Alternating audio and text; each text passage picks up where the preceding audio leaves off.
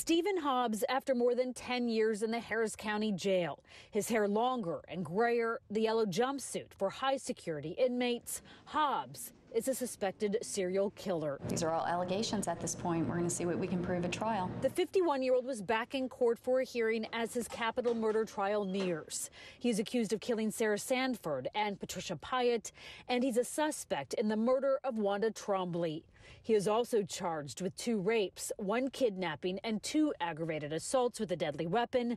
Investigators believe he used his job as an armed security guard to prey on sex workers in East Harris County between 2002 and 2011.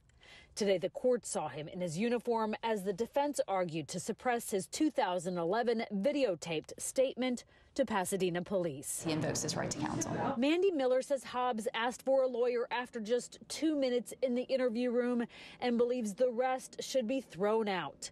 The state argued the actual attorney request came after Hobbs talked for more than an hour about how he liked to pick up women for sex. We don't believe he was clear at the beginning of the statement. Judge Natalia Cornelio will rule over the next few weeks. Prosecutors said they expect to have living victims on the witness list, those who got away.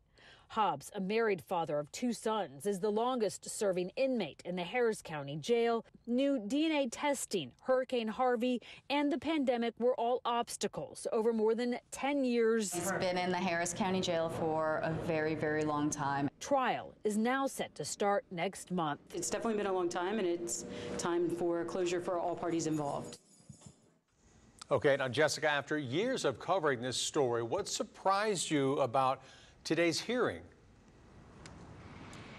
Yeah, Eric, I think two things. The defense wants Hobbs, who is charged with two counts of capital murder, to not be shackled during trial because of how, of how it might look to a jury. The state strongly opposes that.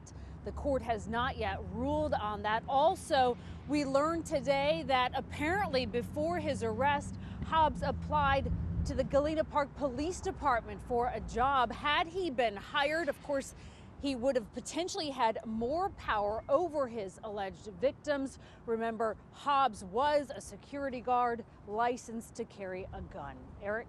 Even more twist to this story. Jessica, huge update there. Thank you.